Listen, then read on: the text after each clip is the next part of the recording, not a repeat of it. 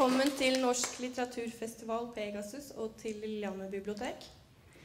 I vår så har tre klasser på mellomtrinn, sjette trinn i Lillehammer og Øyer lest høyt ifra boka 'Disko Satan' av Vera Michaelsen. Og i etterkant så har Pål Brekke Innegave vært inne som samtaleleder og hatt filosofiske samtaler med dere. Og snakka om temaet fra boka og så har dere kommet fram til spørsmål som dere har hatt lyst til å stille forfatteren. Og fra hver klasse så har dere da eh, valgt ut en spørsmålsambassadør som skal være deres representant, som stiller spørsmålene til Vera. Og de sitter i panelet nå her i dag sammen med oss. Så velkommen skal dere være.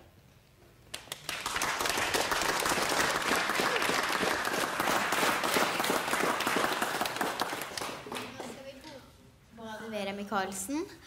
Jeg er Anna fra Solvang. Det er Ola Marius fra Ekrom og Amalie fra Røyslemoen. Nå skal vi boke på det.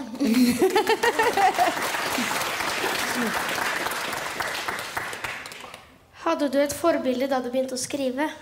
Eh, jeg tror eh, eh, Akkurat som kanskje mange av dere, så har jeg noen forfattere og noen bøker som jeg liker veldig, veldig godt. Eh, og det er egentlig to forfattere som jeg liker kanskje best av alle. Og det ene er en engelsk forfatter som dere sikkert kjenner til, som heter Roald Dahl. Eh, og da er jeg fryktelig glad i den boka som heter 'Matilda'. Så den, den, er faktisk en bok jeg leser med jevne mellomrom, og som jeg liker veldig godt. Og så er det en norsk forfatter som heter Klaus Hagerup, som har skrevet noen bøker som heter eh, eh om Markus og kompisene hans, bl.a. Og en bok som heter 'Høyere enn himmelen'. Så det er liksom mine store forbilder. Du skriver bøker om jenter. Hvorfor ikke gutter? Eh, egentlig så er det der en hemmelighet. Fordi at jeg, eh, jeg tenker kanskje at, det, at, dere ikke egentlig skulle legge merke til det.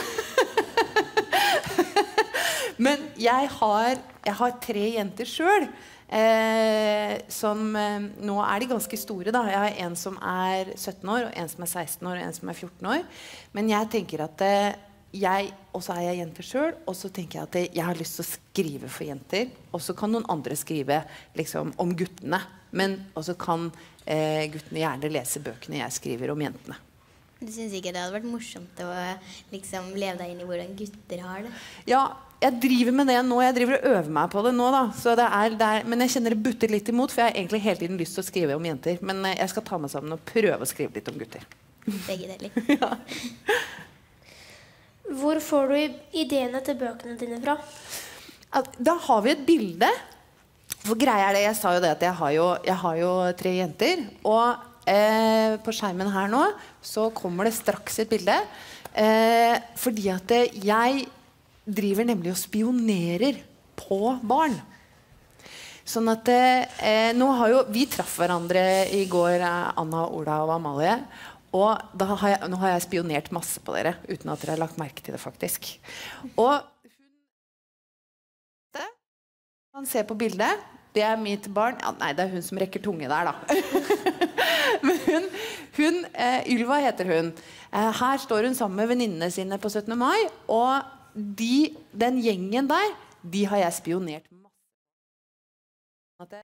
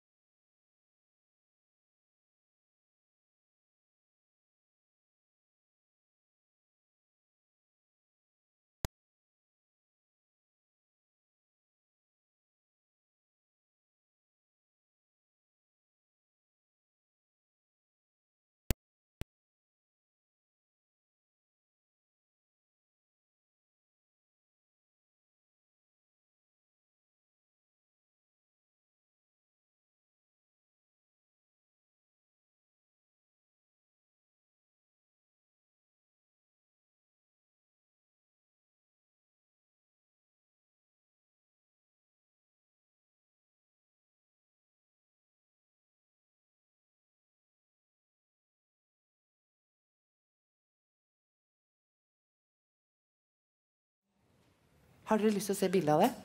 Vi har bilde av det. Se på Sånn ser de ut. Er det ikke fantastisk? Dette er noen engelske jenter. Dette bildet er faktisk tatt i eh, Blackpool, der hvor verdensmesterskapet faktisk foregår på ordentlig. Hadde du planlagt hvordan boka skulle være når du begynte å skrive? Nei, jeg hadde den ideen om disse diskojentene. Og, og så tenkte jeg at eh, jeg er veldig Jeg liker veldig godt den derre ideen Jeg liker at når ting er grusomt og litt gøy, det syns jeg er deilig. Sånn at eh, jeg tenkte liksom Hva om vi har en tolv år gammel jente som vil selge sjela si til djevelen? Er ikke det helt fantastisk? Det er jo så fælt. Det er jo helt grusomt.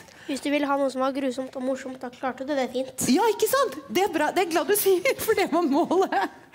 Og da tenkte jeg at tenk om hun vil selge sjela si for å bli verdensmester i freestyle discojazz. Det er jo helt genialt. Og da tenkte jeg OK. Så jeg begynte med det. Og så var jeg litt usikker på hvordan det skulle gå. Og så eh, skrev jeg litt, og så måtte jeg kaste noe. Og så prøvde jeg noe nytt, og så måtte jeg kaste noe. Og fram og tilbake og fram og tilbake. Og så etter hvert så vokste historien fram. Men jeg hadde ikke hele klar når jeg begynte, altså. Det hadde jeg ikke.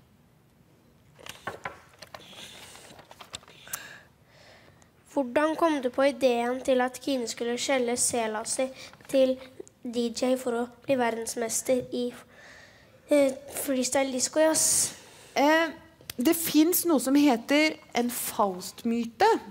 Som er noe som fins i, liksom, i historien om bøkene. Så er det liksom, bøkenes historie, litteraturens historie, så er en veldig kjent fortellertype Det er eh, Faust-myte. Og eksempel Den lille havfruen. Den, det eventyret kjenner dere til. Husker dere hva som skjer da? Hva, hva er det hun eh, lille havfruen Det et, gjør? Det er en god stund siden jeg har sett filmen, Ja. men jeg, Husker dere hva hun må gi til havheksa? var det ikke et Halen eller annet. Hva sa du? Halen. Nei, hun gir ikke halen. Jo, men på en måte gir hun jo halen sin, for hun får jo bein. ikke sant? Ja. Men hun må gi stemmen sin. Og greia er jo det at den lille havfruen, det, som, det er på en måte sjela hennes, er jo, ligger i stemmen. Og den lille havfruen er da en sånn Faust-myte. Så selv om havheksa ikke er, en, er djevelen, på en måte, så er det allikevel det samme. Da, at man er villig til å selge det kjæreste man har, for å oppnå et eller annet. Og det er en type fortellinger som jeg syns er sånn grusomt gøy. Det syns jeg er kjempespennende og helt dramatisk. Så, så det var på en måte Jeg tok den, den Faust-myten, den, den ideen om det, den tok jeg for å liksom bygge min historie, da. Så da du eh, skulle skrive boka, så så du på um, Den lille havfruen? Ja, faktisk så gikk jeg Jeg så ikke på filmen, men jeg leste eventyret. Og så leste jeg en uh, annen bok som heter Faust, som er skrevet av en gammel tysker som er død, som heter Goethe. Uh, så det, det gjorde jeg faktisk. Hvorfor er moren til Kine fattig? Tenker dere at hun er fattig? Nei, hun har jo råd til mat og eh, bolig og sånn. Ja. Men det er jo ikke alle som har råd til kjoler til 12 000 kroner, da. Nei, ikke sant? Det var, og det var akkurat det jeg tenkte at det, Fordi jeg tenker at moren til Kine Hun har helt sånn normal, god råd, egentlig. Eller sånn vanlig, da. Men hun er jo aleine. Hun er bare én som betaler inn. Og så er det Så ville jeg faktisk Men det la dere kanskje merke til. Sånn som de snakker om klær og sånn. De jentene i garderoben og sånn. Så er det jo noe med det at eh, Anastasia og Marina De har jo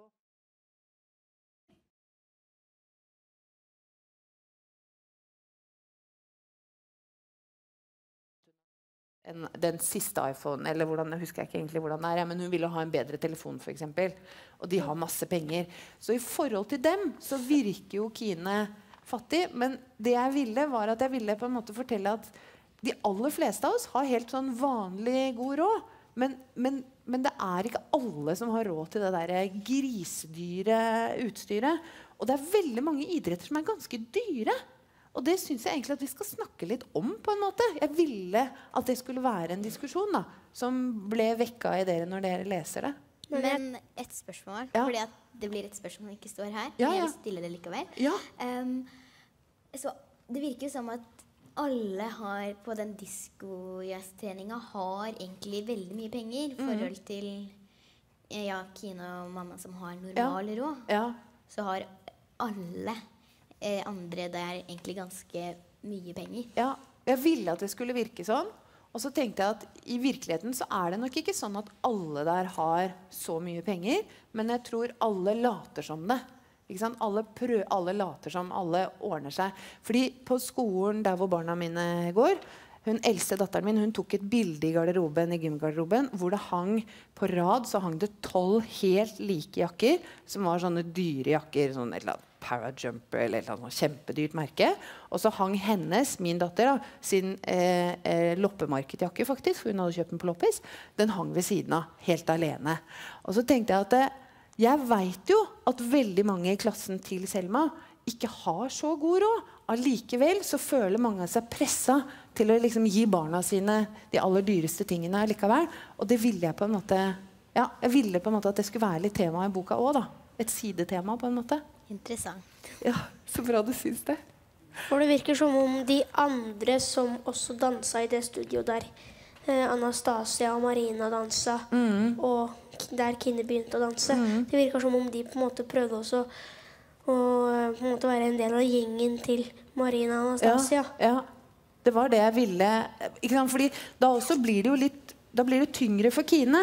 Fordi når, når man skriver, eller når jeg skriver i hvert fall, så vil jeg gjerne gjøre det så vanskelig som mulig for hovedpersonen. Både fordi at dere som leser skal liksom få litt sånn varmt hjerte for stakkars Kine. Hun tenker, å stakkars Kine, fordi da, da, da binder dere litt til henne. ikke sant? Heier på henne.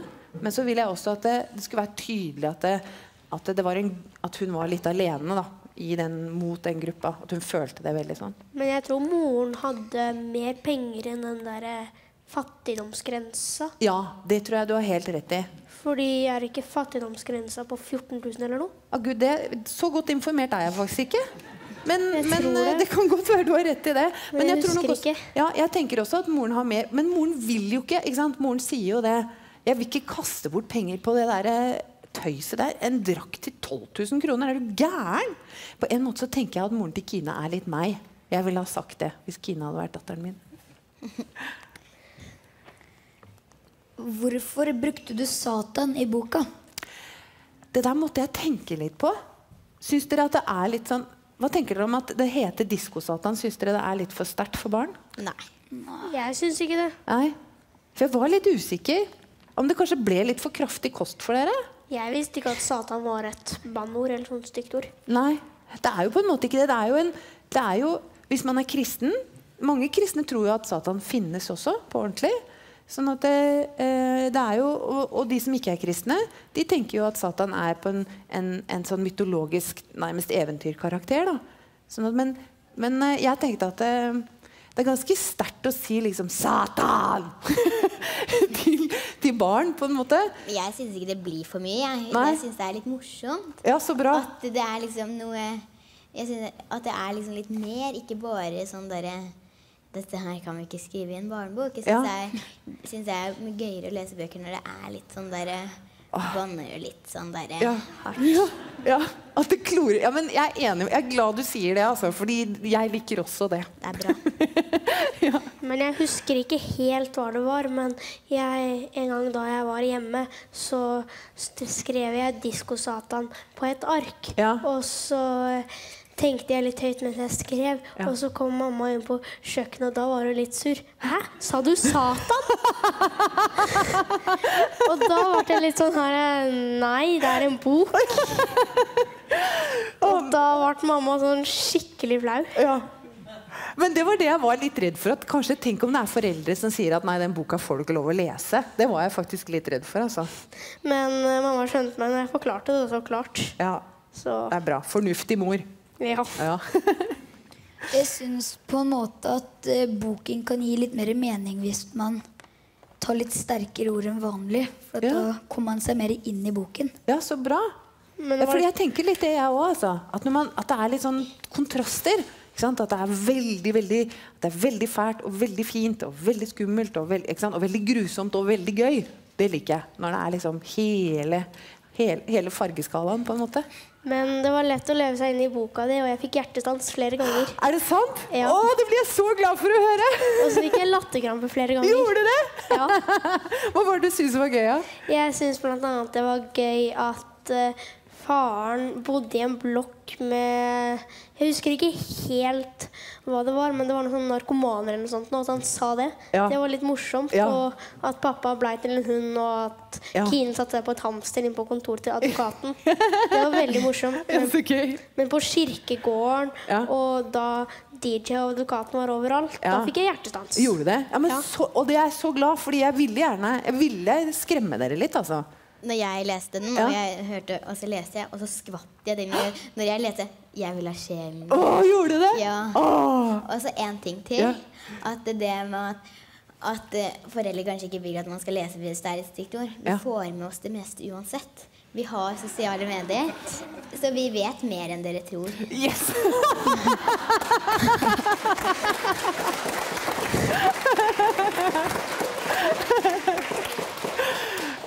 Hvordan vet DJ og advokaten hvor Kine er hele tida? Greia, Der tenkte jeg ikke sant, at når, når Kine er på det der kontoret og skriver under med blodet sitt, på en måte Fordi det blir jo blod. Ja. Blod kan jo brukes til å finne ut identitet. Ja, ikke sant? Så tenkte jeg at da oppstår, Og dette er jo litt sånn magisk, så tenker jeg der oppstår det et bånd? Når Kine da Så tenker jeg hun har liksom en sånn usynlig litt sånn GPS eh, nærmest. En sånn magisk GPS på seg, sånn at DJ og advokaten de følger hele tiden med henne. Og så det jeg tenker at det de følger med på, er hvordan Kine har det inni seg. Sånn at hver gang Kine begynner å tvile, f.eks. på kjøpesenteret når hun er der eh, og, og, og, og stjeler det der eh, greiene, da tenker jeg at da får, hun, eh, da får DJ en sånn slags sånn wink, wink, og så kommer hun med en gang, og så gir hun henne en ny fristelse. Eller hun skremmer henne eller truer henne, liksom. Å ja, for jeg Ja. tenkte liksom at Kine hadde en mm, usynlig, magisk tråd som alltid var festa rundt armene hennes. Ja, men det er på en måte det. Som uh, DJ og advokaten på en måte holdt i, og at de visste hele tiden hvor hun Ja, var. men- Og at den tråden, tråden var uendelig lang. Ja, men det er akkurat sånn jeg har tenkt, jeg også. Jeg er veldig glad for at du Ja, bra. Men da vi vi leste boka høyt i klassen, da var det jo flere steder der de var overalt. Ja. Og da tenkte jeg liksom Hvordan kom du på at de kunne være overalt? Jeg trengte det på en måte for å fortelle historien. Jeg trengte at, det, at, de, at, de, at de kunne komme når som helst og bryte inn. Det var liksom nødvendig for å få historien til å gå. Det er jo det som blir til en bra bok, da. Der ting på en måte ikke kan forklares. Ja, ja. Og på mandag når vi lagde disse spørsmålene, Ja. da ble jo det spørsmålet her med. Og da skjønte jeg liksom ikke helt hvordan skal du klare å svare på det. Nei. Ble du overraska? Ja. For jeg skjønte ikke hvordan eh, de fulgte etter Kine hele tida. Men når man skriver, så tenker jeg at det, jeg tror man er nødt til Eller jeg tenker i hvert fall at jeg er nødt til å kunne for, jeg, jeg må forstå hvordan det henger sammen. Hvordan universet henger sammen. For ellers er det ikke sikkert at jeg klarer å skrive det sånn at dere forstår det. Ja. Hvordan fikk DJ tak i bankkortet til mammaen til Kine? ja. Hva tenker dere om det? Jeg tenker at det kanskje har en sammenheng med blodet. Ja. Iallfall blodet, og at fødselsdatoen var uh, pinkoden til bankkortet. ja, ikke sant? Det tror jeg i alle fall har en sammenheng, for man kan jo finne ut Jeg tror man kan finne ut identitet når man er født og sånn, ved å bruke blod. Ja. Men jeg er litt usikker. Ja, fordi altså, Det jeg tenkte, var jo at eh, først da jeg skrev det, så tenkte jeg ikke så mye over det. Da var det litt mer sånn Å ja, hva er det som kan friste Kine nå? Jo, hvis hun får masse penger. Det, det tenkt, Bare tenk dere om noen ga dere et bankkort. Og, og, hun, og hun sier jo ikke liksom at dette er et kredittkort. Det sier hun jo ikke til Kine. Hun sier bare her er et bankkort med masse penger, bruk det som du vil. Tenk dere om noen hadde gitt dere liksom 50 000. Vær så god, gå ut og bruk det. Det er jo helt eh, jeg tenker det, det, var, det var en gøy idé, da. Og så når, når jeg skrev videre, og hun kom til Blackpool, og det viste seg at det bankkortet det var jo egentlig, Da tenkte jeg å! Fordi da kan jeg bruke det til å gjøre det enda vanskeligere for Kine. Sånn at, eh, og da tenkte jeg at eh, selvfølgelig, hvis Satan vil, så bare tar hun det kredittkortet fra mora. Det er ikke noe problem. Hun kan skape seg om til ting og alt mulig sånt noe. Djevelen er overalt. Jeg syns det, jeg syns det var litt sånn vilt, på en måte. Ja. Hele boka, men uh, hver for seg så var det lett å leve seg inn i den tingen, den tingen, den tingen. Ja. Og alt som skjedde hver for seg. Men når du tenker på det hvis du sier det enkelt, Ja. da virker det jo helt gærent. Du, nå ga du meg akkurat et veldig stort kompliment. Faktisk. Tusen takk for at du sier det. Fordi det er akkurat det jeg har prøvd på. At alt skal virke naturlig hver for seg. Så tenker man ja, men dette kan jo skje, dette kan jo skje. Men til sammen er det jo helt sjukt. Ehm, hvorfor ville ikke Kine fortelle om Gririta til mammaen sin? Ja. Eh, hun burde jo fortalt at hun hadde vært hos hun der Gry Rita Bring-Gjedde ute på Vormsund der. Eh, men, men Kine skjønner instinktivt at dette er gærent. Hun skjønner jo det. Da. Hvis hun hadde fortalt om Gry Rita, så måtte hun ha fortalt at hun hadde vært hos pappaen sin. Hun måtte ha fortalt at hun hadde pantsatt pappaen sin. Eh, at hun hadde solgt sjela si. Det var for alvorlig. Og jeg tenker at Kine hun, hun skjønner ikke helt Fordi når Gry Rita sier Ja, det blir omtrent sånn som Bro, bro, brille, liksom. Gud og, og Satan eh, krangler om hvem som har flest sjeler, og så gjør de opp seg imellom når dommedag kommer, og hvis de gidder, så tar de en runde til. Da tenker jo Kine at ah, så farlig er det jo ikke heller. Så hun, er, hun tenker at, og så tenker hun det er jo ikke sant. Hun tror ikke helt på det. Så derfor så, og så er hun så opptatt av at nå, nå skal jeg klare det. Så derfor så sier hun ikke noe. Men jeg tror at hun føler etter at hun har det skrevet under på kontrakten at sier jeg noe, da blir jeg ikke god i, freestyle, disco jazz. Og jeg har jo så lyst til å bli god. Ja, det, det, det, det tror jeg du har helt rett i. Ja. Og så eh, Hvis Kine hadde sagt noe til mammaen sin, da tror jeg moren hadde drept henne, for å si det sånn. ja. Eller kanskje ikke drept henne, da. Men Det er jo en fornuftig mamma. ja, ja. Ja, Det er jo liksom meg. Men eh, jeg tror hun hadde satt en stopper for det. Oh, ja. Ja. Ja, Um... ja. Hvordan fikk du ideen om at pappaen til Kine skulle bli en hund? Det syns jeg er så gøy! Ja, du sa det i går at du syntes det var så gøy å snakke om pappa. Ja, jeg syns det er så gøy. Syns ikke dere det er litt gøy? Jo, jeg syns han er veldig morsom. Ja.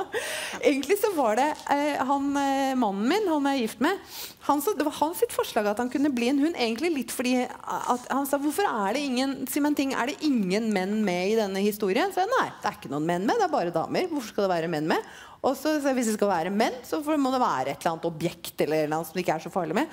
Så sa eh, Atle, da, mannen min, at ja, men kan ikke, kan ikke pappaen Hva med pappaen? Hva med For jeg var litt sånn, hva skal jeg gjøre? Hun må liksom, det, må være, det må være vanskelig for henne. Og så sa mannen min, men hva om pappaen Kan ikke pappaen bli til en hund? Og så tenkte jeg åh, det er fantastisk. Mannen din er smart. Han er ganske smart. Han er veld, veldig kjekk og smart. Er. Hvorfor ville du at hunden skulle være så stygg? Jo, fordi jeg tenker Det som var veldig viktig, var at, at eh, dere som leste, var enig i, eller ikke syntes det gjorde noe, da, at Kine pantsatte pappa. Og da, for det første, da måtte han være skikkelig fæl. Han måtte være slem med Kine. Han måtte være rasistisk. Han måtte være fryktelig, sånn at man tenkte «Åh, Uff, for en fæl fyr. Måtte yeah. man tenke. Han har bare godt av det. Så, det, så derfor så tenkte jeg det. Og så tenkte jeg at hvis han må være det, så må det liksom synes på han. Og så begynte jeg å lete litt på nett for å se om, om det fantes noen bilder av noen veldig veldig stygge hunder. Så jeg googla rett og slett 'verdens styggeste hund'. Og da fant jeg en hund som var så fæl at jeg bare Åh! Så fæl kan man ikke være. Og så lette jeg litt mer, fordi jeg fant ut at nakenhunder ganske fælt. Men så fant jeg en som ikke var så ille, og da har jeg Vil dere se pappa? Ja. Kan dere få se pappa? Er han ikke skjønn? Og da tenkte jeg må ha en hund som er skikkelig stygg, men allikevel litt skjønn. Fordi at det, jeg tenkte at det, Han må være så fæl at det første reaksjonen min er sånn Åh, for en hund! Åh, så ekkel! Og så er han jo bare en liten redd hund. For jeg tenker jo selv om pappa er skikkelig fæl, så er det fordi han er mest av alt redd. Og sånne små, ekle hunder pleier ofte å være De bjeffer så fælt. Og det er bare fordi de er så små og redde. Og da tenkte jeg at da passer det veldig bra med pappa. Så derfor så, Jeg ble kjempeglad når jeg fant det bildet. Jeg føler virkelig at det der er pappa. Skal jeg fortelle noe? Jeg skal passe to nakenhunder, igjen. Men ser de sånn ut? Eh, de er litt brune. Ja. de har ingen pels i det hele tatt. Så Hvordan er de å ta på? Eh, jeg har ikke tatt på dem, men riddelæreren min sier at de er litt ekle å ta på. Det er litt sånn Litt sånn nakenrotte, liksom? Ja, litt sånn. Så det Ja. blir spennende. Ja, det blir spennende. Ja. Du får behandle dem pent. Da kan jo være deg, pappa. Kanskje jeg får passe på han. Ja. De solgte han på Finn. Oi! De, sol de solgte pappa på Finn. Nei.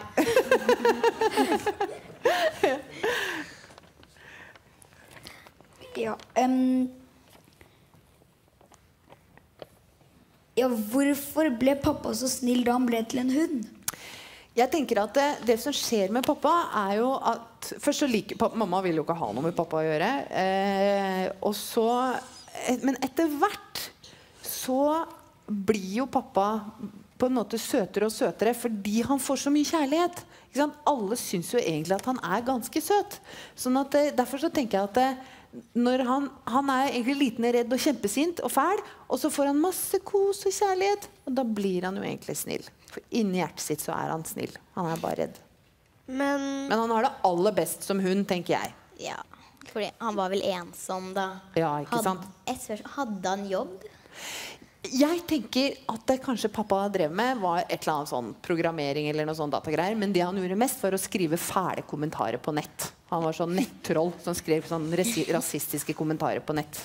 nettroll Ja, det er det vi kaller dem. De som er sånn fryktelige på nett. Men jeg skjønner ikke helt på dansinga at Marina Nestasia Anastasia syns han var søt, for de ville jo bare kose mer og mer. Ja. Og de er liksom så rike og velstående og jålete. Men det jeg tenker er at de forandrer seg jo også i forhold Ja. til Kine. ikke sant? Til å begynne med så er de jo ute etter å ta Kine. ikke sant? Sette henne på plass. Men, men når, når Kine blir flinkere og flinkere, rikere og rikere, får mer og mer oppmerksomhet, så blir Marina og Anastasia sånn Å ja, Kine hun liker vi. Så da er plutselig alt med Kine topp. Også den fæle bikkja hennes. Det som er da jeg, Onkelen min har en hund, Ja. og noen ganger så passer bestemora mi på den. Og i Gestdal altså, Jeg har møtt folk, og det, den hadde ikke helt utseendet med seg. Men i, men på, men i Oslo, der du bor med onkel Ja. Nei, den var søt! Ja. Den var fin! Ja, men det er jo også sånn Og sånne kan tenke deg, de er jo litt søte òg. Sånn at ja, jeg tror alle syns det er koselig med dyr. De fleste. Ja. Ikke mannen min, forresten. Han liker ikke dyr, han liker bare kuer. Hvorfor likte mammaen til Kine pappa når han var hun, siden hun ikke likte han som menneske? Altså, Det der forholdet til mamma og pappa sånn, da, de, da pappa også var menneske, det var bare Det var en glipp. Det er dessverre Jeg, jeg, jeg er blitt til sånn. Moren og faren min traff hverandre sånn på et seminar. Og så bare ble jeg til. Og så hadde ikke jeg noe mer kontakt med pappa etterpå. Nå er ikke han, he, han er ikke et nettroll, altså. Det, det skal jeg bare si. Men jeg tenker at det er sånn som skjer i verden. Unger blir til på de merkeligste vis. Sånn at, eh, og moren til Kine tenkte Gud, han der, det var en, det var en miss. Det var en, et glipp. Men shit happens, liksom. Jeg fikk en nydelig datter. Det er helt i orden. Må ikke ha noe med han å gjøre. Men når han, hun veit jo ikke at pappa er pappa. Så de begynner på en måte litt på nytt. Ja. Ja. Og siden mammaen ikke veit at pappa er pappa, men at hun tror at det er Maris hund i klassa, tror jeg det var, ja. så på en måte tror jeg at hun blir litt sånn mer glad i den, siden at de ikke er en annen hund enn den. Og man må jo passe på. Man kan jo ikke akkurat uh, uh, si nei når man har sagt ja. Ikke sant? siden Da må eh, man jo ta ansvaret. ja, man Ja. må jo ta litt sånn ansvar. Og siden at uh, Kine allerede hadde sagt at Mari hadde dratt, da må jo moren være litt ansvarlig. Men jeg skjønner også at det kommer litt sånn på sparket. Ja. kan man trygt si. Ja. Kom som julekvelden på kjerringa si. Ja. Og Også mm, at når eh, pappa ble til en hund, Ja. så fikk han jo Så ble han jo mer tatt vare på. ja. Og da fikk han liksom vist hvem han egentlig kunne vært. Hvis han bare valgte det Veldig. riktige valget. Mm, veldig sant. Det kan jo hende at eh, hvis de hadde fortsatt sammen, at de hadde blitt sammen. Det var Aldri! Bare, Aldri! Ikke sånn pappa var, altså. Fysj og fy. men han ble jo snill som hun. Ja, men som hun ble han snill. Ok. Eh, Over til noe annet. Ja. Hvorfor stjal Kine skjerfet? Å ja, hvorfor Kine stjal skjerfet? eh, det, det var en litt sånn desperat handling. fordi akkurat på den tida der Det skjerfet det var Jeg vet ikke om dere husker det, men en periode så var det Det er ikke sikkert, det kan være dere ikke fikk det med dere, men det var en periode hvor det var noe som heter akneskjerf. Som, fikk dere med dere det? Ja. Som var veldig veldig populært. Og eh, hun eldste dattera mi hun ønska seg et ak akneskjerf over alt på jord. Eh, og jeg kunne ikke skjønne hva hun skulle med det. For det første så jeg ikke forskjell på skjerf og skjerf. Eh, og så kosta det jo hva var det, kosta over 1000 kroner eller noe sånt. Helt latterlig dyrt! Og da tenkte jeg at eh, akkurat den der problematikken der Og eh, nå var det ikke sånn at dattera mi stjal skjerf, men hun kjøpte et skjerf på Finn. Et brukt akneskjerf. Brukte alle sparepengene sine på det. Angra skikkelig etterpå. Så tenkte jeg det der er fint å bruke. Og så tenkte jeg det derre at Kine går så langt at hun stjeler, det er på en måte et veldig tydelig tegn på at nå har Kine slutta å tenke. Nå er det et eller annet Nå har den derre Satan som har tatt bolig i henne, begynt å virke. Fordi nå gjør hun ting hun er, Kine er ikke en type som stjeler. Nå må jeg faktisk ærlig innrømme at da jeg var tolv år gammel, så stjal jeg en leppestift en gang. Oi. På Ble du Store. Nei, venninna mi og jeg. Dere må ikke gjøre det, altså. Jeg hadde vondt i hjertet. Jeg måtte grave den ned i, bak eh, huset der jeg bodde. I den blokka der jeg bodde. For jeg turte ikke å ta den med inn. Jeg var sikker på at det lyste at den var stjålet. Oh, jeg, jeg får vondt i hjertet når jeg tenker på det etterpå. Men det var nettopp derfor jeg også ville bruke det. For at Kine liksom skal kjenne at Åh, dette er fælt. Ja. Men en annen grunn til at jeg tror at hun stjal det skjerfet, det var uh, selvfølgelig fordi at Satan tok boligene, og pga. det der med blodet. ja. Og eh, nå på en måte be, ting begynte å skje Ja. uten at hun på en måte merka det. Ja. Og, hun kunne, og uten at hun kunne styre det. Nemlig. Men jeg tror også det var litt fordi at hun ville vise at hun kunne være sterkere enn Anastasia og Marina. fordi at det var jo på kjøpesenteret med de to, og de Ja. to drev jo og jåla seg inne på det, ut og inn av det prøverommet med klær. ja. Og da, vil, da tror jeg hun ville prøve også å vise at jeg kan også gjøre det. Mm. Det, ja, det, det tenkte jeg òg. Mm, enig. Syns du det var galt av Kine å kaste ut alle gjestene da hun hadde selskap? Hva tenker dere om den situasjonen? Jeg vet ikke. Det var jo Satan hadde jo begynt å tatt over henne, og hun Ja. skulle bare, bare trene og sånn. Mm. Så. Spise, trene, sove. Ja. Men tenker dere ikke altså, for jeg tenker Det er ganske pinlig å bli avslørt i at hun har jugd om den drakta. At hun fortsatt har den, og Marina Anastasia finner den inne på rommet hennes. Og hun sa at hun skulle ha den og, Ja, ikke sant? Jeg tenker at eh, og leverte den tilbake. Ja. Jeg tenker at det kanskje var gærent Jeg tenker at alt er på en måte gærent, da. Men, Men- av og til så gjør man ting som er fryktelig feil, da. Men jeg syns ikke at Kine skulle Eller jeg skjønner at hun ble sur og sånn. Det ville jo jeg også blitt. Men jeg ville bare kasta ut Anastasia og Marina. For det var jo de to som bare reiv opp skapet og sånn. Se, her er drakta. Men, jeg, men å kaste ut Shirin, det var det minste jeg ville tenkt på. ja. Fordi Shirin var jo blitt da bestevenninna til Kine. ja ikke og sant? Hun støtta jo henne, og hun på måte, ville jo ikke gå. Og det var jo ikke fordi hun ville irritere Kine, det var fordi at de var blitt venner. Ja, ikke sant? Men jeg tenker at når Kine er på en måte helt desperat der. Hun er så flau over at hun er eh, avslørt. Og så er hun også så full av liksom, Satan på en måte, og den der greia at hun skal vinne. da. At hun, at hun bare, hun tenker ikke, det kortslutter litt i huet hennes, og så bare Gå, gå, gå!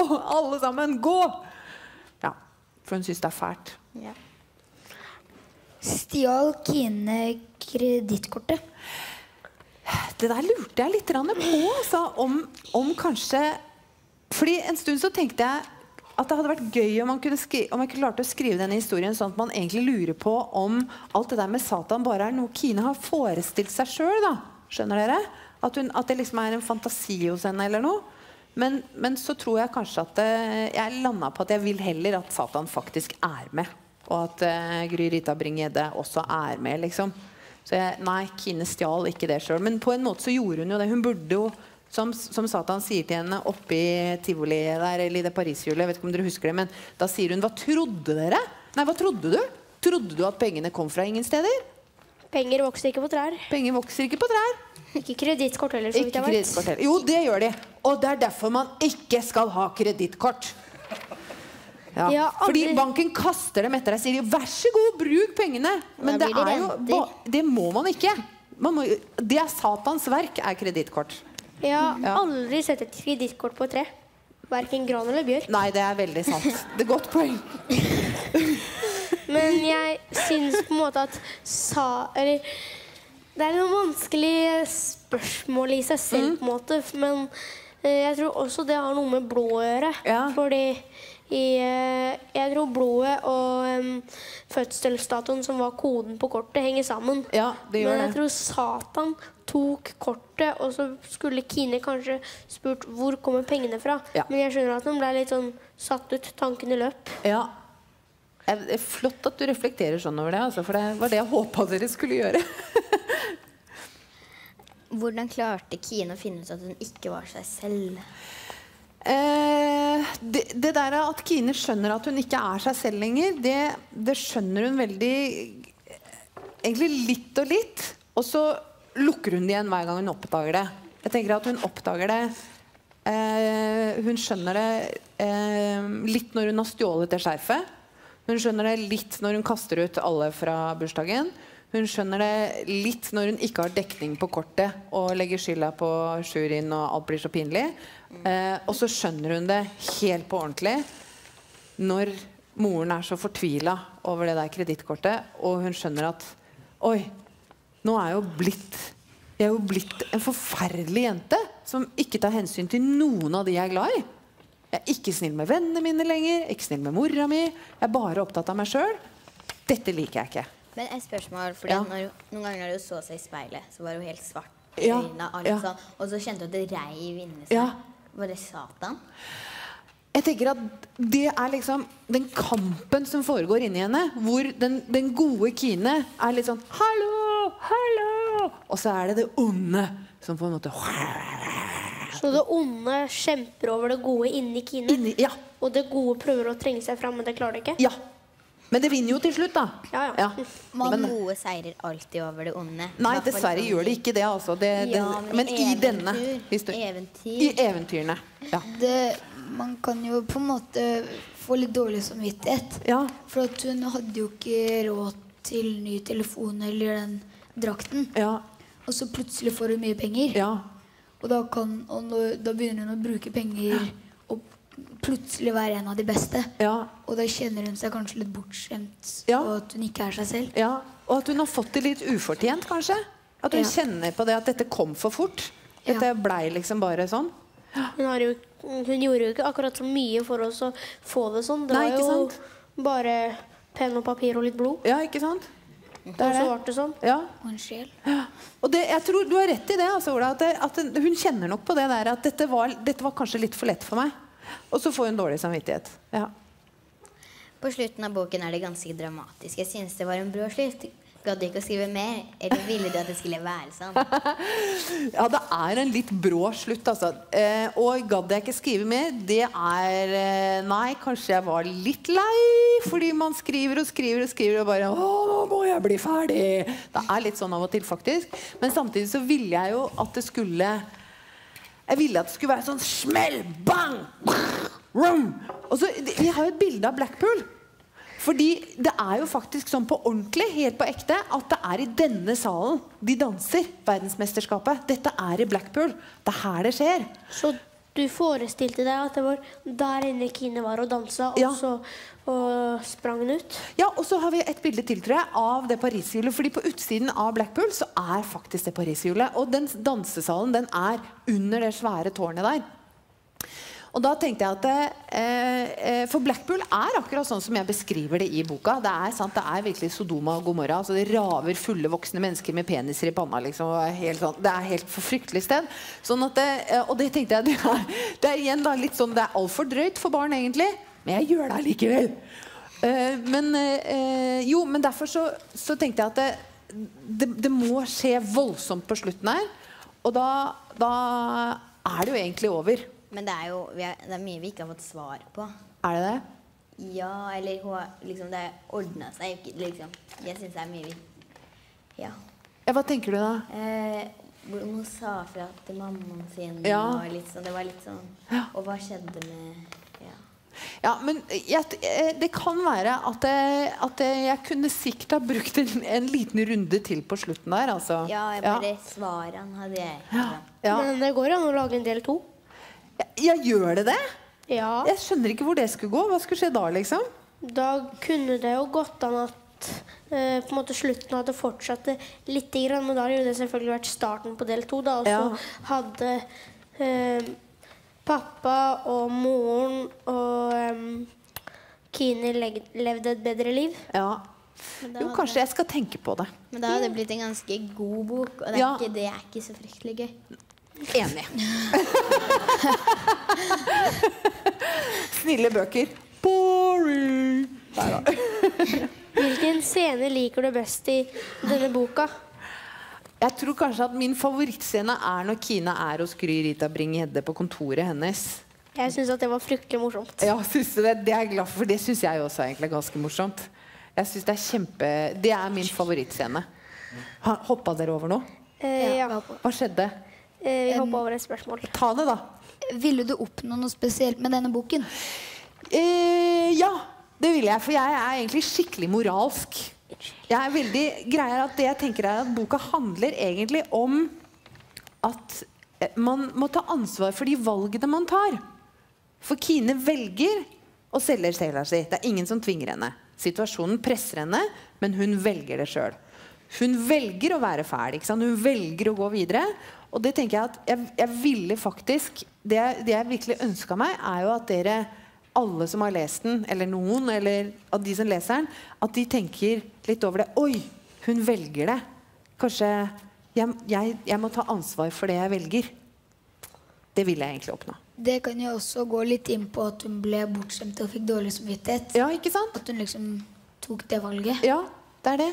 Uten at du liksom tenkte nøye over det. Nei, nemlig. Fordi den der, den der fæle følelsen hun har i kroppen, og det der speilet og den der møtet med seg sjøl og den dårlige samvittigheten, den alle dere kjenner når dere gjør noe gærent. Dere kjenner det i magen. Ikke sant? Og det er viktig å høre på det. Man må høre på den følelsen, fordi da er det kroppen som sier det er feil. Og det må man høre på. For at eh, helt i starten, Ja. da hun fikk sjansen til å liksom ta det dårlige valget, Ja, så føler jeg liksom at det bare var et bra valg. Ja, ikke sant? For da ble hun en av de beste. Men også etter hvert så skjønte hun liksom at det er ikke henne. Nei, det er nemlig det. Fordi det er jo gjerne det med dårlige valg. At de kommer litt sånn snikende på deg. Og virker, og det er ikke Djevelen er liksom ikke Eller det der fristelsen er ikke forkledd som med horn i panna og fæle ting. Det, det oser ikke fælt av dårlige valg. Tvert imot, dårlige valg er gjerne fristelser. Og det er vanskelig å gjenkjenne. Hvorfor valgte du å skrive en bok om mobbing? Eh, fordi at det, jeg, jeg ser, Sånn som det første bildet jeg viste av dere, så syns jeg jo at, det, eh, at vi mennesker noen ganger kan være ganske fæle med hverandre. Sånn at jeg syns at det er interessant å bruke det. Viktig å snakke om. Det er enig. Ja, Man må vite god hvordan man er. Hva sa du? Du lagde en god bok. Syns du det? Å, så hyggelig. Takk. Hvordan kom du på navnene til karakterene? Da valgte jeg litt sånn forskjellig. Jeg ville noe som jeg brukte masse tid på det. Men, men pappaen heter Morten Hoss. Og det heter han fordi det, det er noe jeg sier feil hele tiden. Fordi mellom byen Moss og Horten så går det en båt. Og den heter Moss-Horten-ferja. Men jeg sier alltid Morten Hoss-ferja. Og det syns jeg er så gøy! Så da tenkte jeg at pappaen kan hete det. Ehm, da er det et lite fil filosofisk spørsmål. Ja. Hvordan vet vi hva som er rett eller galt når man føler det er rett, men vet at det er galt? Ja. Det er jo litt det vi snakka om i stad. At det, det er ikke alltid man veit det. Fordi det kommer litt sånn snikende innpå. Men som du sa, Ola, sant? du kjenner det jo på samvittigheten. Og det, jeg tror alle har, alle har et lite sånn samvittighetskompass i kroppen som man kan høre på. Så det er egentlig det jeg vil at eh, man skal kjenne på. Man blir jo påvirka, på en måte. Ja. Fordi at eh, hun ble jo fortalt at 'dette er supert, gjør dette', og så fikk hun en masse greier. Ja. Sånn at hun bare 'Ok, dette her skal jeg aldri se bort ifra og tilbake til'. Ja. ja, det er sant. Har noe av det som skjer i boka, skjedd i virkeligheten? Det er alltid sånn når man skriver at man henter litt fra ikke sant? Jeg har jo spionert på barna mine. eh, og my mye av måten de snakker på, sånn har, de, har jeg hørt dem. Hele den samtalen i garderoben om eh, eh, at de syns så synd på dyrene og sånn, og at eh, de klærne og sånn, det er ting som jeg bare rett og slett har skrevet av, som jeg har hørt. Sånn at, eh, men alt det der med djevelen og alt sånn, det har ikke skjedd. Vet du at Nei, vet de at de spionerer på dem? Ja, de veit det. De sier sånn Jeg har skrevet en annen bok som heter Hyperpubertet, hvor jeg har stjålet enda mer av samtalen. Og da sa hun eldste datteren min 'Mamma, du kan ikke skrive det! Alle skjønner hvem det er som har sagt det!' Jeg bare tenkte ja, ja, det, det, vi, vi gjør det om lite grann, så de ikke skjønner det. Men ja.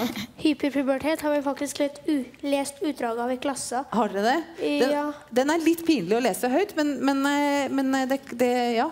Det handla om handla ikke det om en sånn jente som het Camilla, og så var det noen jenter som lagde en sånn skikkelig flau blogg om henne? Jo, det gjør det. Men vi- kan, vi har ikke tid til å snakke Nei. om det, for nå har vi nesten ikke noe med Nå er vi egentlig på overtid. Ja. Liker du å danse? Og hadde du danset diskodans hvis det var billigere?